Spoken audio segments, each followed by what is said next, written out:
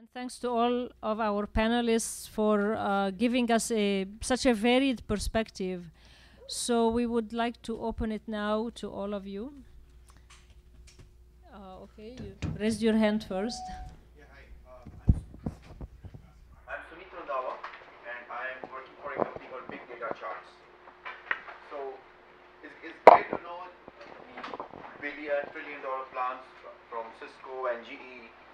So the the plans which you have is because you guys have are closer to the data. You guys have access to the data which which the which the uh, data analytics can be run upon and where the algorithms can be put in place to bring the meaningful or actionable insights.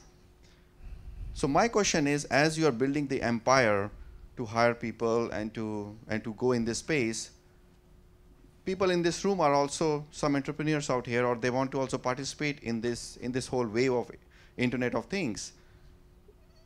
Will can there be an opportunity where where the data as it is proprietary or residential within within the enterprises can be exposed the privacy can be can be removed i mean the privacy information can be removed but it can be exposed and small entrepreneurs can get that data and can run and can do more innovative algorithms on it and we all can be part of the same same internet of things wave and can build more innovative solutions can there be a possibility like that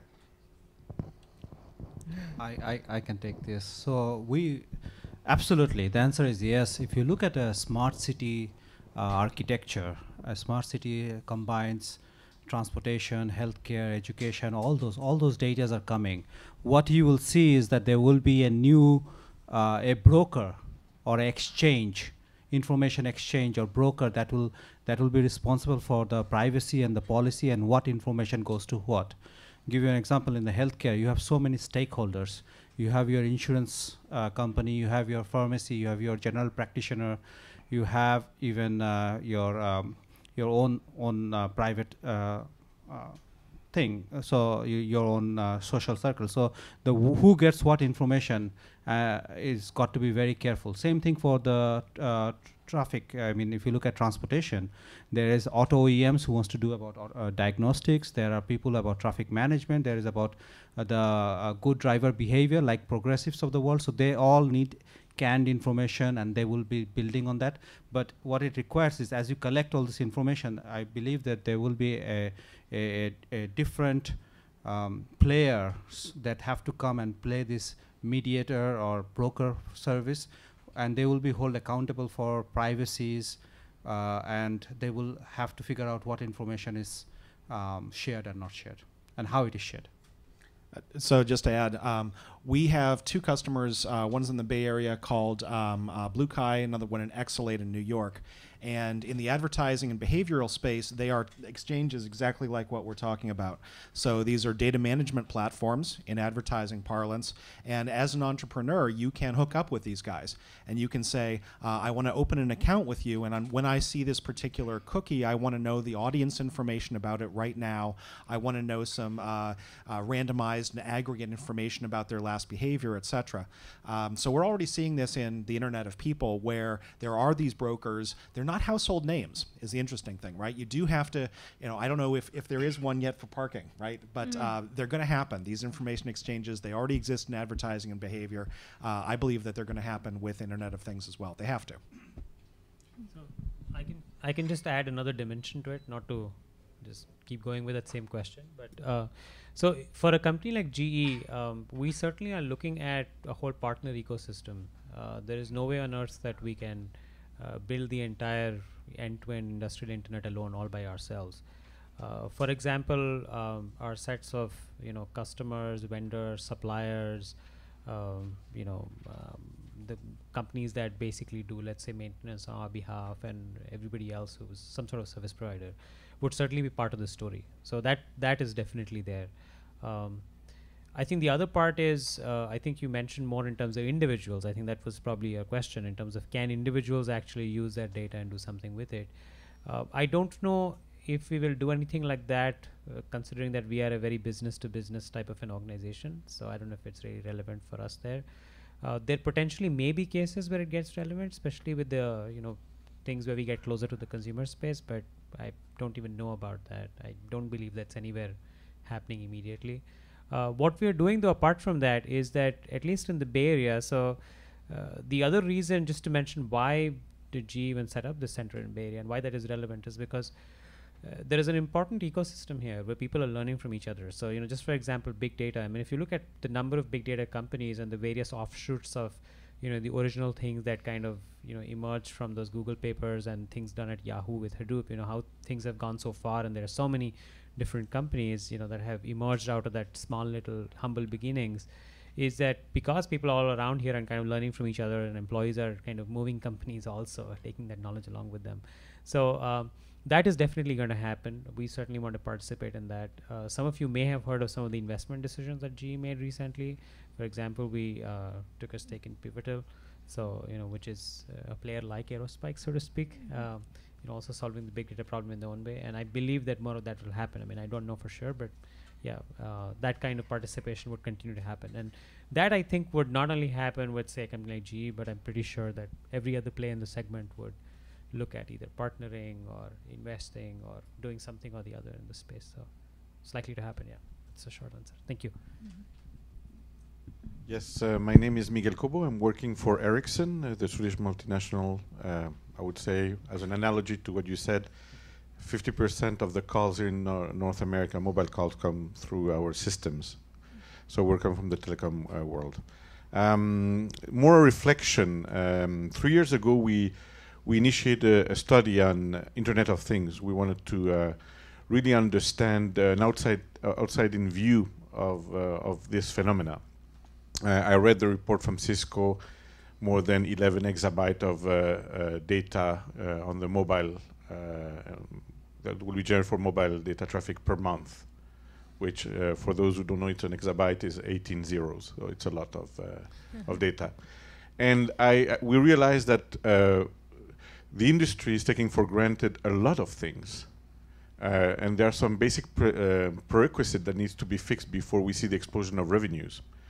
First, how we're going to fix the revenue sharing between those who own the networks and that need to pay for the infrastructure for that data to go across.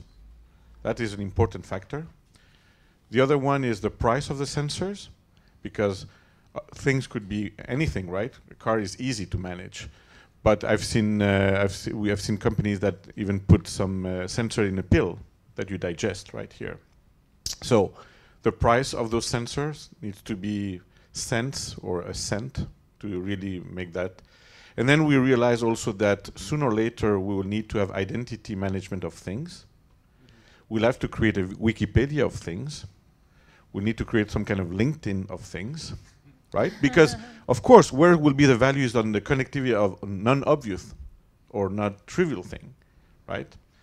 And as I say, I was more uh, wanted to know what was your opinion about. At least that was our findings, and we we noticed that it will take some time before we can see this huge amount of money that in some reports are reflected. But these are important factors. And finally, also the the authentication, right? Not only that we need to authenticate that those things says the right thing, right, uh, as information, but also those things should be able to authenticate systems that are asking them information because of fraud and everything.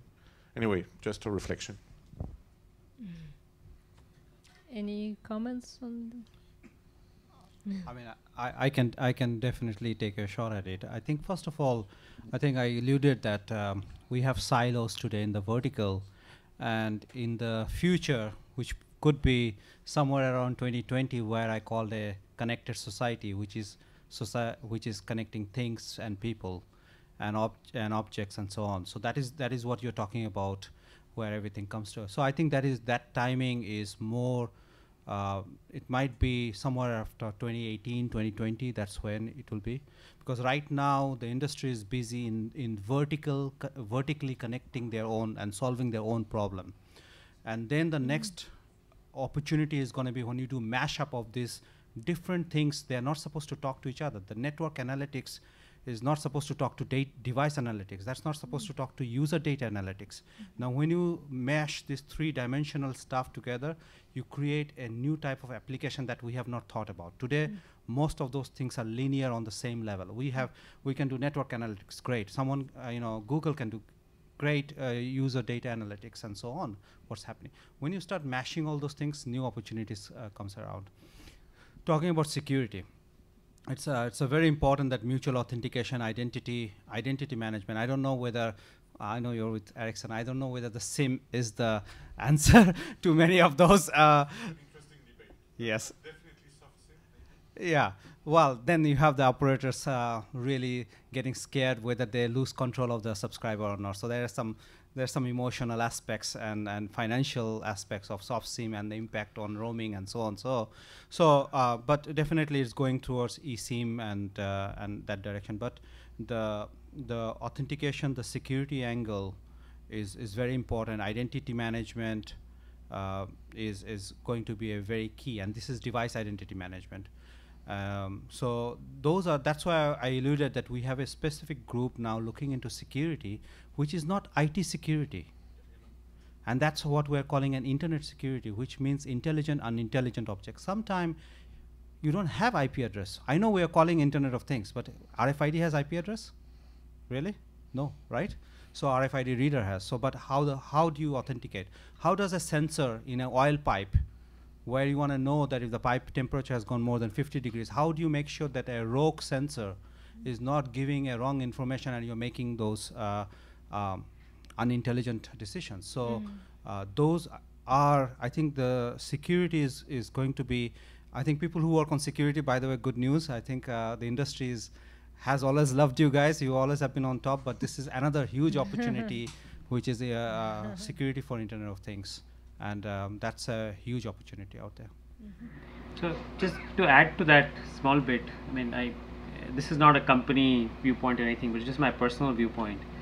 I think that uh, you have to realize that um, I think a lot of this would happen for sure because there is a lot of opportunity, as you know, a friend from QuickPay was saying. So the opportunity itself might drive some innovation, as always happens. Um, but I think beyond that, if you just historically go back and look at it, and this is actually read somewhere, so I'm kind of stealing off a book that I read. Uh, the idea that most big innovations or big things happen when three things align. And I think if I remember that correctly, is good economy, uh, fair competition, and uh, critical mass. And I think that's what has led all along. Uh, for if then three things kind of align, then most big turning points happen. That's when you know the space wars happened. That's when internet boomed. Many of these happened on times when somehow you know the all three have to match. So now, if you look at it right now and you're trying to map good economy, I think hopefully we'll see good economy in future. We've probably seen the bottom out, so uh, I'm not hoping we keep going bottoming out further. Uh, competition, I think, yeah, there's a fair bit of competition coming up with all these investments and people wanting to gain something out of those and also all the other innovation that's going on. So that will generate some competition among big, small, and all kinds of players. And then the third one is critical mass, which time will tell how soon the critical mass will happen. They think the only thing that we have learned over the years is that the amount of time it takes to generate critical mass is just rapidly decreasing. So you know, if you start looking at again innovation cycles, it took X number of years from you know say uh, uh, aviation technology or automobile technology, whatever to evolve. And then now, if you start looking at current technological trends, including all the stuff that's happened in the world of mobile uh, and smartphones, especially, that's a great indication, right? It's now reduced down to even less than three months, right? I mean, uh, Samsung comes out with four models every year, I think these days, not even once in a year. So, so just just my two cents to that. I'd like to add one more point over there, specifically on the uh, on the big dollars being quoted out there. I think uh, given given the traditional approach of quoting big market revenue generation, I did that. I said 26 billion dollars. But what we are seeing today is a lot of it is cross pollination of data going from one segment to another. For instance, I mean, I think there was a gentleman who was asking about uh, can we collect data? Can we innovate? SFMTA, if you go over there, a lot of the information is actually freely available. So cities are making that movement, right? Uh, that allows you to build a solution for advertisement, for instance, which will tell you in this particular location how many newcomers come in. You can build an application over there and go and go sell, go fight Groupon and the space that they could not innovate, right? So I think I think those kind of cross pollination will happen. So you will see the dollars kind of spray over.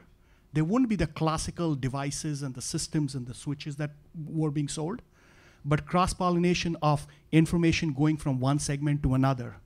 I mean, there are solutions out there that as you're driving, your information is being pumped in through the networks. I just want to Yes. phrase because I, I think maybe you didn't get my point. hmm My point is that the, the success that you that you have uh, on the company is because you own tho- those sensors, right? Mhm. You don't depend on second source. Your information in your business is of the accuracy of your sensors, correct? That's not true. The, uh, some of the information that we collect Yes. are sensors which are installed by the city, Fine. built by somebody else. Fine. But if those sensors send wrong information, Yes. your business you're out of business. That's what I'm trying to say. Correct. So without creating an infrastructure of validating the source, validating that the the, the sensor are truly sending the right information. So you need to do much more than just collect the data. You need to validate that your source says the truth, That's correct. right? Mhm. And and then again, these exabytes of data, that infrastructure which Cisco or Ericsson will sell, well, if we are not able to connect part of the revenue sharing to those who are transporting that information, even though it's boring, as you said, Yep, yep. there will not be any Internet of Things. That's all what I'm trying to say as a reflection. S- So just to share one um, vignette from the advertising space, uh, and again, I'm sure the advertising space doesn't, you know, if you get one sensor glitch, yeah, no babies die. Uh, I like that kind of space. Um, but there are techniques that do not require cryptography and do not require that kind of analysis. You can do it in other ways, right? So in advertising, what you look for is you look for spurious patterns. Now, how do you tell a black swan from a spurious pattern is an interesting process problem in signal processing. Uh, but you do need to figure out uh, where the robots are, where the scanners are, uh, and where uh, essentially fraud detection is happening within the internet in order to ignore those patterns. Um, so they're just saying there are some other uh, ways besides uh, sort of crypto secure technologies. Absolutely. Well, well taken. Dave Shields, art consultant, Zurich, Switzerland. Um, three points, and I think the last speaker touched on some of them briefly, tangentially. First one relates to intellectual property. In such dense, interconnected, interdependent nodes and networks, who's going to own the uh, intellectual property generated? Or implicitly, will every participant give a free license to everyone else? That's one thing. Second thing is, what happens about product liability and warranty and so on in such dense interconnection? Who's going to be liable for what? The third question is if everybody's in a node or in a network and somebody doesn't like it after a while and they pull out, causing consequential losses to the other parties, will the lawyers have a field day? Uh, Are you a lawyer, sir? Just checking. An economist. Close enough. Well, very interesting question. I don't know if any of our panelists is ready to tackle that. I'll, I'll take a shot at it because we see some of this in advertising today. Um, the the chains of sort of liability and control and ownership are actually kind of common sense in a lot of ways. Um, this the the only hard part is uh, if you own a sensor, uh, you sort of feel that you have uh, sort of first rights at ownership of the generation of that sensor. Uh, and usually you have some rights to place it um, created by some ULIT, like right. So if you're, uh, I was working at a company called iControl, which has now uh, created the home automation system uh, ADT Pulse. And so ADT, when they install a system, they believe they have some ownership created by the the installation guide that says, you know, we can do X, Y with your data. Uh, the analysis that gets created is done by whoever's done, doing the analysis, right? So you've got those sensors created, then you've got the IP created by those an- analysis folks. Um, part of the business driver of Internet of Things is going to be selling those analysis, right? When QuickPay uh, uh, opens up APIs, because now they can not only uh, uh, they have their own data and they're able to sort of do things with that data, they enable an entrepreneur Well, I mean, it's pretty clear. You know, QuickPay maybe did some analysis, or they're selling raw sensor data for less. Someone else creates an analysis for it. Um, you know, we've worked this out within the advertising space, and it's actually not that big a deal. Now, the liability problems, I don't know. That's that's hard. But once you know ownership, maybe you know liability. So um, I would like to say something around, around the reliability. I, I want to avoid the liability, if you don't mind. Um, so what we are seeing in the industry, and, and that is coming down, is a new consumption model. Um, and, and I want to share with you a, a, a example of how the risk mitigation and the reliability is, is passed on from you know the traditional way where you have the entitlement to the people who are making it. It started in the in the aviation industry, where the concept is power by hour. So you pay for the hour of operation, and the and the vendor is responsible for the uptime. So and and that was in a, very expensive jet engines and so on. Now that has trickled down even to the lighting pole. Working with this uh, famous lighting pole company in Netherlands, uh, you, you have to figure out who it is. Uh, they put light poles uh, very well known, has been around for a long, long time. Uh, uh, typically, I'll give you an example what's happening with city. A light pole typically costs around 10,000 euro for European Europeans out there. For physical labor and whole installation, per light pole is 10,000 euros. Now the cities don't have that much money anymore. And you, I don't know if you drive across Europe, you'll see some places uh, the roads are lit up, some places is dark. It's based on the ability of each city, each, each uh, and their affordability. What has happened is now that's been turned around. Now the vendor who's who's building the light and the light poles are responsible for putting it into the ground and is sold as lighting as a service. And cities are paying per per month, which is much more easier instead of paying 10,000 euro per light pole. So they can use that money for healthcare, education, and other places. What it also means is the people who are making those equipment are responsible for the uptime, so they're doing even better. By the way, example, when I was studying at a university in Netherlands, and my professors were from those industries, and the, the fluorescent light was invented, we had to do what is called a quality of service, which means make sure the light don't last too long because we want people to buy, go and buy again. So there was a there was a so we were optimizing the product for our revenue because that's the way we had the revenue. Your light has to go down, you have to go buy a new one. When you change the consumption model, which is as a service, uh, now the responsibility turnarounds. Now we are making much more greener, much reliable, and it's uptime, and there is a SLA around it. So I think I think those those changes of uh, consumption models are also going to drive the people who builds the infrastructure, builds those things, are going to be part of the owner, uh, uh, will have the responsibility. Thank you. Okay. Uh, thank you. Uh, is it working? I can just, just talk louder. Oh. Is it better? No, it's the same. Hurry on. You guys can hear me, right? Yeah. Uh, Godfrey Chua from uh, Infonetics Research, uh, tech analyst uh, covering machine-to-machine IoT and things like that. Um, I actually have many questions, so I'm just going to pick one uh, and maybe kind of steer the discussion a little bit more to the business model side of things in terms of how we can actually, from an economic standpoint, drive adoption of IoT. Um, taking the smart city as, as an example, because I think the panelists can all talk to uh, different aspects of it, is you know, so we've been looking at the smart cities, uh, various initiatives around the world, talking to some of the constituencies there, and I mean, obviously it's a very challenging process, a lot of players involved, a lot of bureaucracy to deal with. Ultimately, to try and push it forward, you need real economic drivers to get the cities really thinking we can do this and we can pay for it, and it's not just going to come out of tax dollars. Um, one of the things that have come out is parking, actually, could be one of the killer applications for it. So I'm just curious from the panelist standpoint, what other examples can you cite, uh, you know, especially uh, Cisco, uh, in terms of business models that are helping drive, uh, you know, you, you provided some examples already, but business models that can drive, for example, the smart city, what applications, services can help justify the investment so it's not just coming out of tax dollars.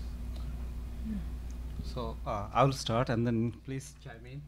So cities have CIOs I think I think you may, I don't know if many people know that even San Jose has a CIO, and he's a very progressive guy, fantastic guy. But uh, so uh, cities are looking. You know, traditional way is um, we did a parking meter in San Mateo and San Francisco, which uh, we paid for it because the city didn't have the money. But uh, uh, that's okay. You know, it's uh, we are incubating Internet of Things, and uh, that's great examples. But um, some of the city CIOs are looking. So you have to find a new way of of monetizing. Now you will be surprised that cities get tax dollar by where you live, right? So there is a competition for skilled workers to be in San Jose rather than in some other county. So cities will be competing with each other. That's the new economy we're going to go. Because when you have Internet of Things and when you have this kind of broadband capability, you will have uh, a lot of the example was mentioned here. What was done by human is now automated. So, so you will, so, so, the skilled workers, you need to attract the skilled workers, you need to attract the business. One of the way San Jose is looking at, San Jose CIO is looking at, is to provide that broadband in the city as, a, as automatically for the businesses. Hopefully the businesses will come, the, the, the, they will attract the skilled workers, and that will attract the businesses to come. So the broadband is by default, and they get the revenue through the taxation because businesses happen, they get tax dollars. So it's an indirect model of, of really funding a city rather than upfront, okay, who's going to pony up, let's put it. And uh, so you have to make some bets, and, and, and that's how you would see some of the cities doing it. And as it becomes more successful, uh, others will follow.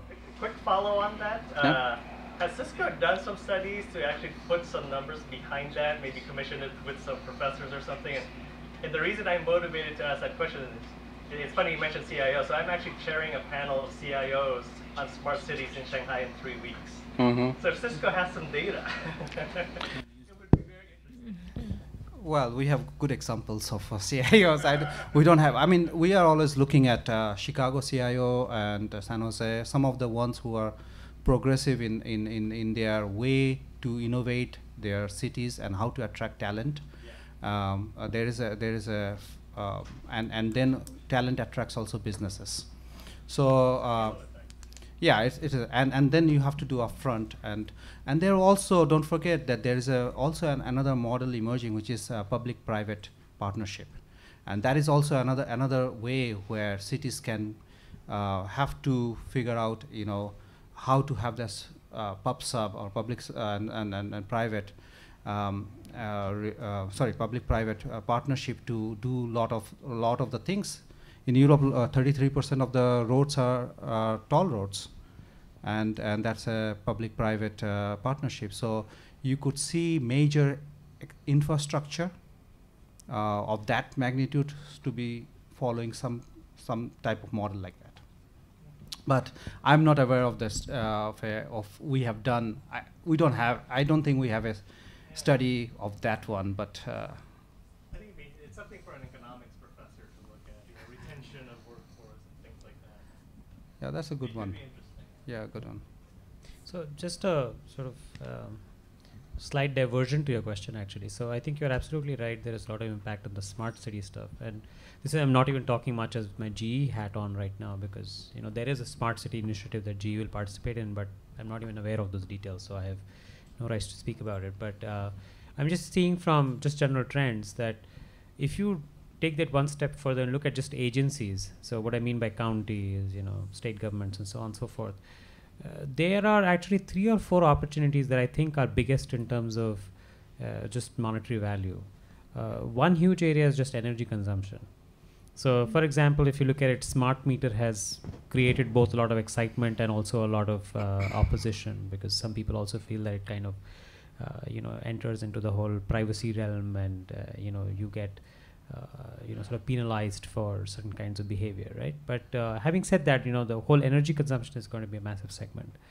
Along with energy there's also the other utilities optimization so to speak. Uh, water something as mundane as garbage collection.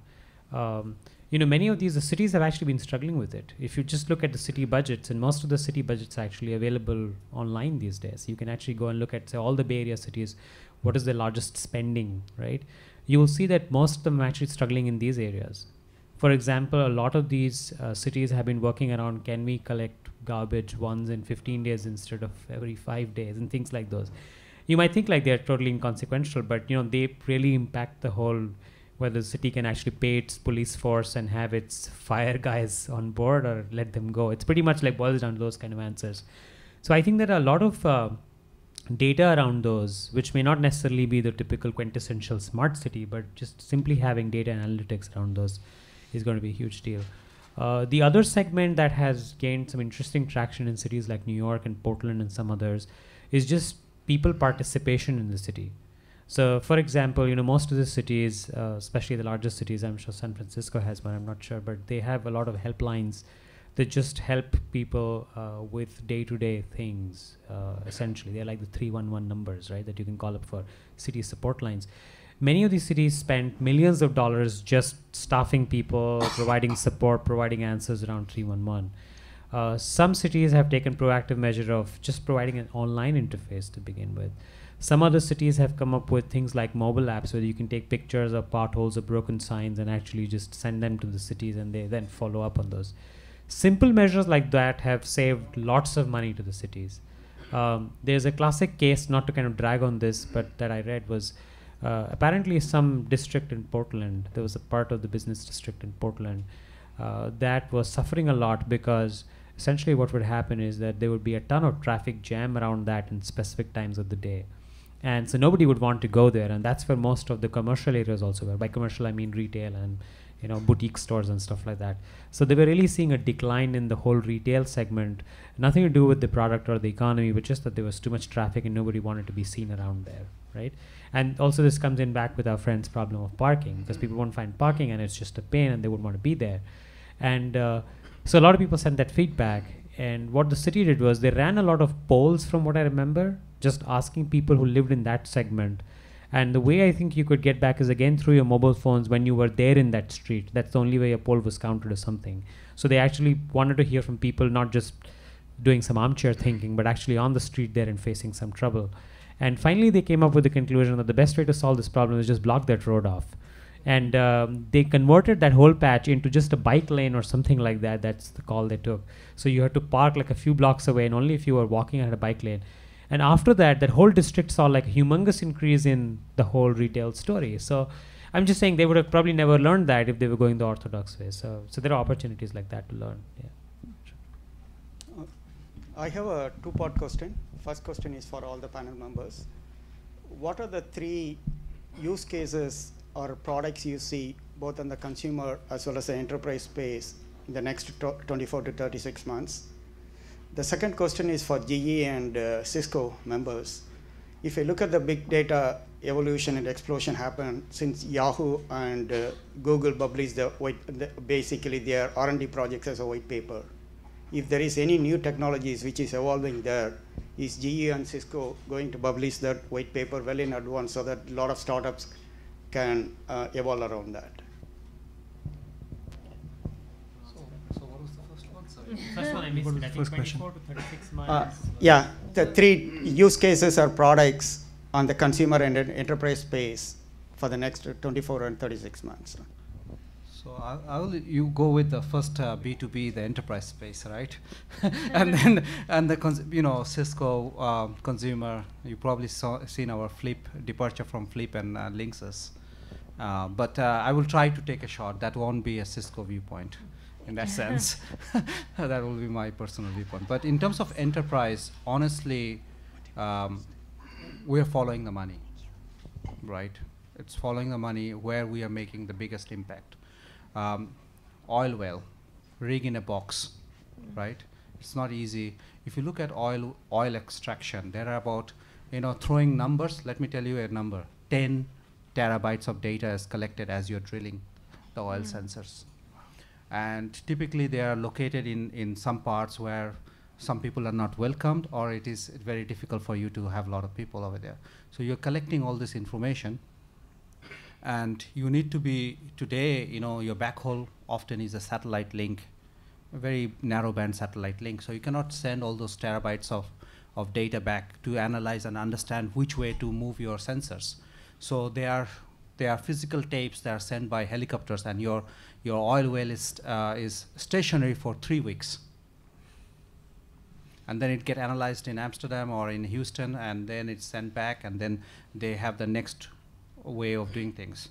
The, uh, so what what they need is something that runs analytics at the location and makes a lot of the decisions, filters out, throws 98% of the data which are not relevant.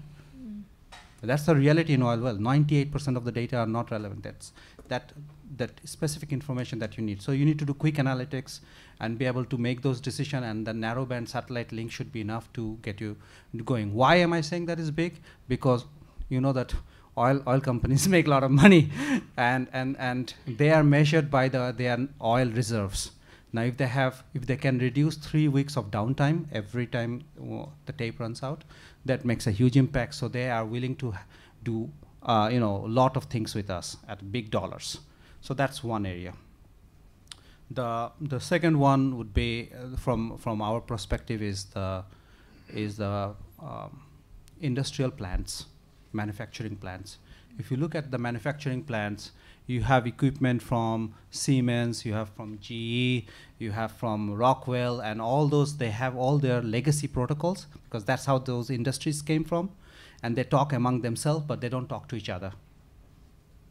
So you need and something that will equalize so that you have the total view of the plant, what is happening on the GE islands, Siemens Islands and Rockwell Islands, and they can talk to each other.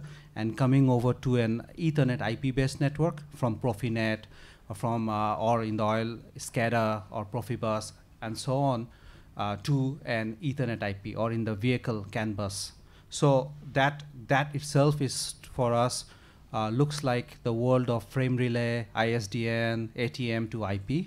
We see a similar thing that will happen in the industrial automation, where we call this operational technology coming to Ethernet IP. That's a big uh, task. One of the key differentiator is the deterministic Ethernet, which my colleague from GE talked about, because we knew those protocol existed for a reason, and as we move to Ethernet IP, we have to assure that the that the uh, reliability of those Ethernet is matching what what those protocols do. So there is a huge investment, and someone talks uh, talked about Stuxnet those are very important. As you now make those plant, which were supposed to be isolated, as you make them connected to the world, the level of security that is needed and, and the connectivity over there is a huge, huge area. And this goes for both deterministic wired network and deterministic wireless, which is even tougher. Huge opportunity on deterministic wireless, whether it is mining, oil and gas, or manufacturing plants. So those are some of the area. And the third one would be in the transportation, whether it's along the uh, roadside equipments. These are along connected rail, connected road, collecting all those information. These infrastructures are put will be put out there for 15, 20 years. So the, the revenue generation from our point of view, both for the infrastructure as well as for the end-to-end -end system is huge. That those are the B, B2B angle. And uh, B2C, uh, I don't know. I don't know three, but the one that we are, or one or two that we are looking at, is around uh, home uh, automation, and we have something with AT&T Connected Life, is, uh, and and we want to see how we can replicate that. This is around aggregating all your Zigbee, Bluetooth, all those things into one hub at home, and then providing you that control, and uh, health and wellness in the healthcare. So um, I'll, I'll pass it on. Okay. Sure. So um, thank you. So let me actually take the second part of the question. I'll skip the first part. Uh, I really don't have any comments on that. Um, and I'll probably uh, want you know the other panelists also to jump in on the second part. So sure. if I understood the question correctly, you were talking about the evolution that's happening in the big data space and you know uh, what are we doing and as and when we are ready with something which is breakthrough would we be sharing with the world in some sense um, so i would make it just a larger uh, you know sort of question here. So in the big data space, uh, there's a ton of excitement today. Um, you know, our host Aerospike has got a story, and you know, like I mentioned, a few companies and ourselves. There is a lot of story essentially right here in the Bay Area that's emerging in the big data space. Now, what is happening is that uh, if you uh, just kind of loop back, uh, you have to understand that a lot of the excitement in the big data space uh, happened really in the distributed computing world. So I'm really putting on my tech hat for a few minutes and just bringing in all the you know NoSQL and big data experience that I have, and I'm just trying to speak from that standpoint that a lot of this happened in the distributed computing space. So when you saw all those papers emerge from Google, uh, they were really trying to tell a story of how they solved uh, a at scale problem from a distributed computing standpoint. So I'm talking about all those papers, you know, the, about let's say the, you know the Chubby or Big Table or GFS and all those things, which kind of spurred this whole big data excitement, right?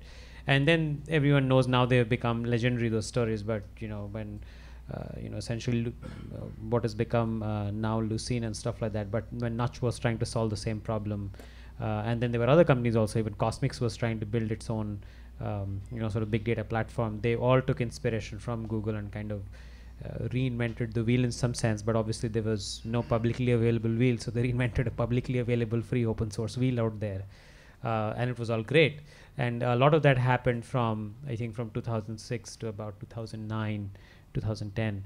Um, in 2009, 2010 actually was, uh, to my mind, uh, one of the biggest uh, sort of turning points in this whole uh, scalable large data space let's put it that way right? So we started seeing a ton of different NoSQL companies emerge. And NoSQL is actually a very weird and uh, you know um, uh, misused term. But uh, because NoSQL essentially means anything that was not SQL it's technically it was not SQL but not relational if you think about it right? Uh, but a lot of different platforms emerged. And uh, now if you look at it I think uh, there's a lot of evolution that has gone from just managing high throughput and large volumes to going back to what the database guys have done over the years. So if you think about it, all the database guys have spent the last 20 years, 25 years innovating around query processing, around optimizers, around uh, columnar formats, around uh, uh, you know OLAP versus OLTP. That's where all the work has happened, right? And there are a ton of great products in that whole space, right? From standard, good old relational databases to you know a lot of the data warehousing type of solutions, so on and so forth. And a lot of that has come into the big data world. So if you look at it, for example, today a lot of the innovation that's happening in terms of how do we query faster? Can we do something better than MapReduce? Let's say, which is the classic thing that has been a quest for a few companies. And you see innovation from, say, something like HAWQ that Pivotal is trying to build, or Impala that you know friends at Cloudera are building. Uh, they're basically trying to go back to basically writing a, a, a query engine. If you think of it, if you if you get down to the crux of it, what are they actually inventing? They are writing a query engine. They're writing a statistics-based optimizer, right? All of these things that the database guys have been writing for the last 20 years, and many of you guys have been in this field, so you can probably kind of speak to that. Um, and so a lot of that optimization is happening. Uh, the other thing that is happening is this whole element of real time. Now, real time itself is a pretty tricky term. Um, you know, in my sort of past life, so to speak, I spent a lot of uh, time uh, building very real time applications for the financial service world, you know. Uh, and that time, real time really meant uh, not even like milliseconds. Milliseconds was too much because you could lose too much money, not for any other reason. And so there was a lot of optimization at that point in time, just simply around getting data faster. And you know, all those event stream ESP type of technology emerged in that world, right? Lot of event stream processing. Some of that is being brought back into the distributed world because when we were talking about ESP, sure, we were talking about speed, but we were not talking about volume of data and speed. We were talking about small volumes of data, but just focusing on speed, on optimizing bandwidth, on optimizing, you know, basically inverting the querying process, you know, put a filter, run data through it, that kind of story, right? Now, when you take the big data space, you can't technically do that. It's too hard, especially if you're trying to run that through multiple gigabytes, terabytes, and forget petabytes. Petabytes is too much. It's easy to speak about petabytes. You know, it's very hard to deal with petabytes. Let me just say that. I don't know how many of you dealt with petabytes of data. Give me that. Yeah. So it take it takes a while just to copy petabytes, right? Just to even copy a petabyte of data from drive to drive it takes a long time, right? Just so I'm just saying like it's easier to say about that, but I'm saying managing throughputs at multiple terabytes or petabytes is a totally different beast. Just even trying to manage that much data, just just move that much data, just copy that much data, is a humongous problem. And I think that problem was solved with this whole Hadoop evolution, so to speak. At least it was solved to an extent where it became bearable, right? With this whole distributed HDFS file system, it said, okay, you know what? Don't worry about the size. Throw it in and let horizontal scaling just solve that problem. So anyway, long story short, don't want to keep rambling on this, but I think there is a ton of innovation happening. A lot of exciting stuff around querying, optimization, real time, lots of things that are going to happen in the big data space. A lot of that is happening from you know various small to large companies in the Bay Area. Uh, we have our own story. We are trying to play in that own story along with extending products, adding things, building things of our own. Uh, for example, we have a huge interest in time series data because ultimately, if you think of all the sensor data, everything is time series data. If you think about it, right? There's a time point, there is some value, and then there is some sort of attack. Sorry, yeah. I'll so anyway, so you yeah, you'll see a lot of innovation there. And I, I just want to add go ahead. one, Yeah, go one, ahead. one quick things on that one. There's a network approach to the data as well, and um as a as a, in Cisco we are looking okay, the the uh, you know GE talked about real time. You cannot assume that you do something and something gets computed in the cloud and comes back in real time, honestly. So when you put those challenges, scalability, bandwidth requirement, real time, then you would come to a different type of network architecture. Even analytics, you will come to a different architecture. So we come, we have concluded that we needed a hierarchical architecture for analytics. So analytics at the edge, close to the device is different from analytics in the cloud, but also means that the networking role has to change. If we have to make our service provider, if we have to make our customer uh, profitable, we cannot have all the data pass through. So what we are, we, what we have uh, started a concept of, and we are productizing, is called fog computing. You know, you have the cloud up there, and the fog is more close to. So, so this is this is by the way, FOG doesn't have any meaning, but it's really the fog. If you are if you are in a Golden Gate Bridge and you know the fog comes, so fog computing is a mini cloud computing in terms of compute, network, and storage, and a middleware that does the uh, resource management across the peers. So if a edge device is running out of capacity, it can outs it can uh, it can point to the peering uh, fog device for it to do. So we will see those kind of architecture come to solve this petabyte and zettabytes of data because otherwise the backhaul and the latency and the real time all those things cannot be solved. Can I So yeah, I just want Sukanta and Brian to to answer briefly. It's nine o'clock already. Obviously, of a very fascinating topic, and we will have to stop after that. So uh, Yeah, please so- go ahead. Okay.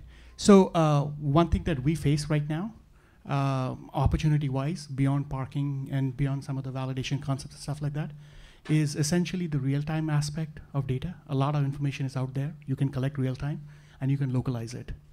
As if you want to go build something of your own, there is a lot of infrastructure out there that gives you the data that you're not going to get from the traditional enterprise, that you can get now, and you can get that filtered.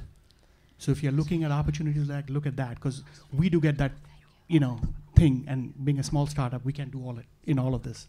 So I, I meet people, you know, lots of people ask about what they could do around the around the fringe.